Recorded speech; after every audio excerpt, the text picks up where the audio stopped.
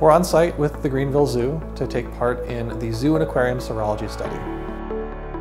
Today we're doing the biosecurity assessment survey. We talk to the facility representatives to look at what practices they either currently had in place or that they made modifications to. This is funded by the American Rescue Plan. It's a study looking at SARS-CoV-2 in zoos and aquaria.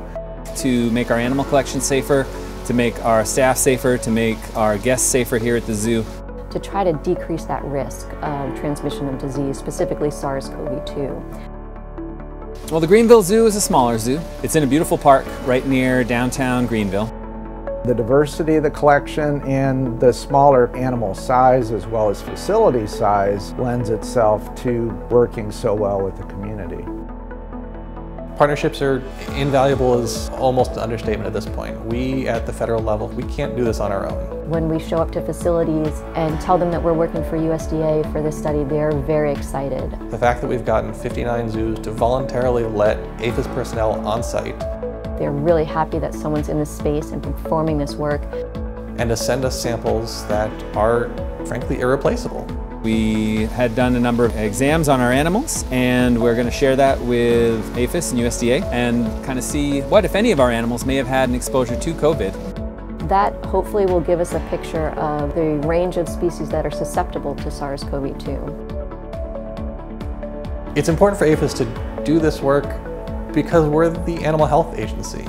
You know, we're hoping that the work we're doing will serve as a template so that we will be better prepared for the next SARS-CoV-2 pandemic, which hopefully doesn't happen. And a lot of things related to COVID can apply to other emerging diseases. And we're going to use the, the findings from this study to help prevent that transmission, to help protect the animals in zoos and aquaria, to help protect the humans that work at these facilities too from getting SARS-CoV-2.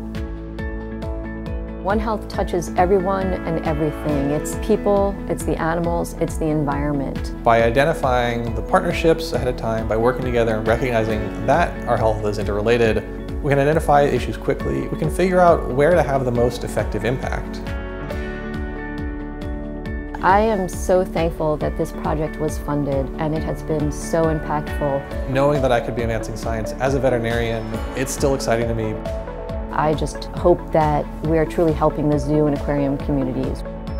We hope that the guidance we come up with can help people protect their animals and protect the people that work there.